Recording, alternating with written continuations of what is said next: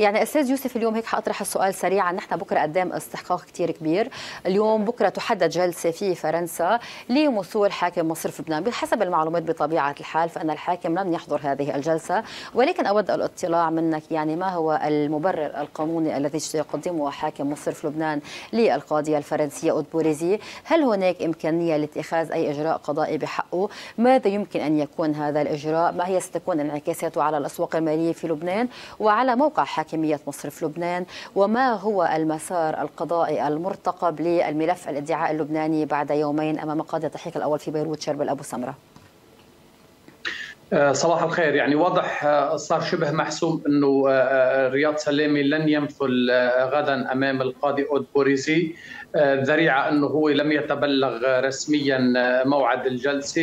المعلومات تقول بأنه ورقة التبليغ لم تعد بعد إلى مكتب قاضي التحقيق شربل أبو سمرة وانه تعذر على القاضي أبو سمرة تبليغه وفق الأطر القانونية وهذا يحمل الكثير من الأسئلة وعلامات استفهام إنه آه، كيف القاضي أبو سمرة قدر يبلغ رياض سلامي بجلسة 18 اللي هي محدده يوم الخميس يعني آه، بعد يومين من جلسة فرنسا وكيف عجز إنه يعني يبلغوا جلسة فرنسا؟ هذا يدل على أن هناك إخراج آه، قانوني إذا بدك لمنع رياض سلامي من آه، المثول أمام القاضي الفرنسي أو تغطي لغيابه آه، عن المثول أمام القاضي أود بوريزي نهار الثلاثاء وكل بيعرف اليوم إنه مسألة مثول رياض سلامي بفرنسا هي مسألة مسألة مصيرية ليس له فقط بل لكل الذين المعنيين اليوم بالملفات المالية اللي آه، رياض سلامي جزء منها ولكن بطال المنظومة السياسية بشكل آه، أوسع. آه، ما في شك الأنظار يعني غدا سيعلن عدم مثول رياض سلامي لكن الأنظار تتجه إلى جلسة الخميس المقرره قدام القاضي رياض القاضي شربل ابو سمرة بما خص الادعاء اللبناني على رياض سلامي ورجا سلامي ومريان الحويك واضح أيضا انه المحامين هن اللي رح يمثلوا وليس رياض سليمي لانهم سيتبلغوا آه، مصير الدفوع الشكليه اللي قدموها وهل يقبلها القاضي شرب الأب وسمره أم يرفضها لأنه أي قرار من هذا المسألة يرتب آه، إجراءات سيقوم بها المحامين لجهة استئناف هذه الدفوع أو عدم استئنافها وبالتالي أعتقد أن جلسة الخميس أيضا لن تشهد أي استجواب لرياض سليمي ولن يمثل رياض سليمي لكن بالمعنى القانوني هو مبلغ آه، هذه الجلسة وسيحضر المحامون الموكلون بالدفاع عنه.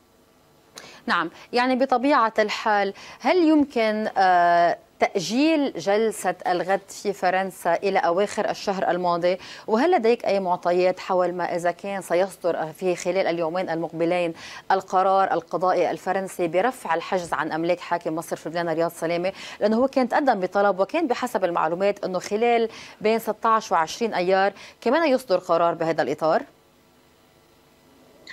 يعني بتقديري إنه آه، الأمر آه، مرهون بما تقوم به أو بالإجراء الذي آه، ستقدم عليه القاضي أود بوريزي واضح هي لديها يعني توجه نحو التشدد بما خص الدعوة المقامة أمامها ضد رياض سلامي واضح تقول المعلومات بأنها لن تتجه إلى إبلاغه مجددا لأن هي تعتبر أن رياض سلامي هو ممتنع عن المثول امامها ونحن بنعرف وحضرتك كنت تتابعي ريف إنه أود بوريزي بلغت رياض سلامي عندما كان يمثل امامها في آه، بيروت بضرورة المثول امامها ب 16 شهر. كان الجواب من القاضي شربل ابو سمرة أنه هو مكتبه ليس مكانا لتبليغ آه، رياض سلامي ولكن نسأل نحن أيضا أنه كيف عندما امتنع رجا سلامي عن المثول آه، أمام أود بوريزي بحجة أنه هو آه، يعاني من آه، عارض صحي، كيف جرى إبلاغه